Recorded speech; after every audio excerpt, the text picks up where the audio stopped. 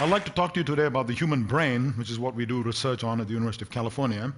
Just think about this problem for a second. Here's a lump of flesh, about three pounds, which you can hold in the palm of your hand, but it can contemplate the vastness of interstellar space.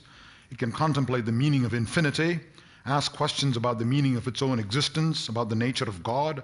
And this is truly the most amazing thing in the world. It's the greatest mystery confronting human beings. How does this all come about? Well, the brain, as you know, is made up of neurons. Looking at neurons here, there are 100 billion neurons in the adult human brain, and each neuron makes something like 1,000 to 10,000 contacts with other neurons in the brain. And based on this, people have calculated that the number of permutations and combinations of brain activity exceeds the number of elementary particles in the universe. So, how do you go about studying the brain? One approach is to look at patients who had lesions in different parts of the brain and study changes in their behavior. This is what I spoke about in the last TED. Today I'll talk about a different approach, which is to put electrodes in different parts of the brain and actually record the activity of individual nerve cells in the brain and sort of eavesdrop on the activity of nerve cells in the brain.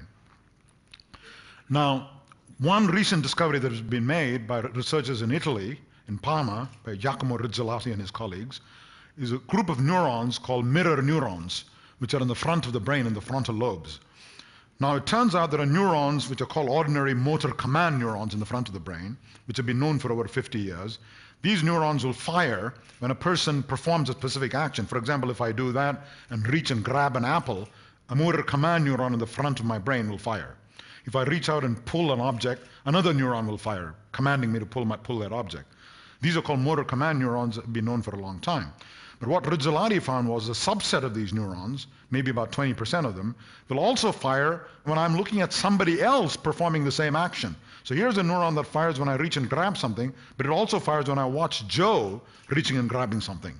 And this is truly astonishing because it's as though this neuron is adopting the other person's point of view. It's almost as though it's performing a virtual reality simulation of the other person's action. Now, what is the significance of these mirror neurons? For one thing, they must be involved in things like imitation and emulation, because to imitate a complex act requires my brain to adopt the other person's point of view. So this is important for imitation and emulation. Well, why is that important? Well, let's take a look at the next slide. So how do you do imitation? Why is imitation important? Mirror neurons and imitation emulation. Now, let's look at culture, the phenomenon of human culture.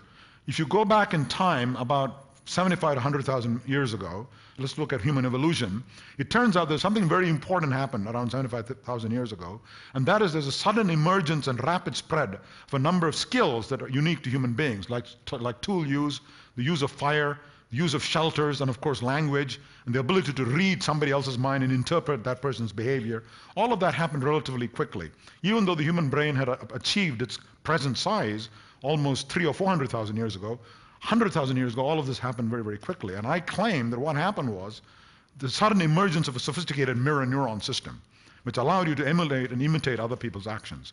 So that when there was a sudden uh, accidental discovery by one member of the group, say use of fire, or a particular type of tool, instead of dying out, this spread rapidly horizontally across the population or was transmitted vertically down the generations. So this made evolution suddenly Lamarckian instead of Darwinian. In Darwinian, evolution is slow, it takes hundreds of thousands of years.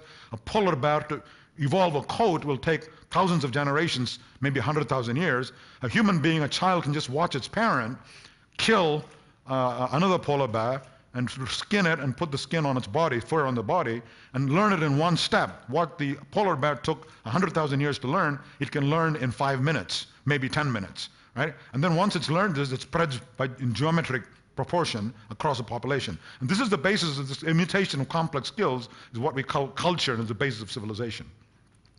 Now there's another kind of mirror neuron, which is involved in something quite different, and that is there are mirror neurons, just as there are mirror neurons for action, there are mirror neurons for touch.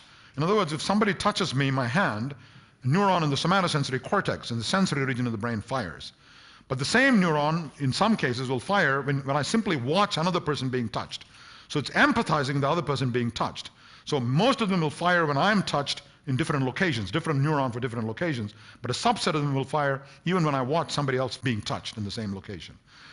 So here again you have neurons which are involved in empathy. Now the question then arises, if I simply watch another person being touched, why do I not get confused and literally feel that touch sensation merely by watching somebody being touched. I mean, I empathize with that person, but I don't literally feel the touch.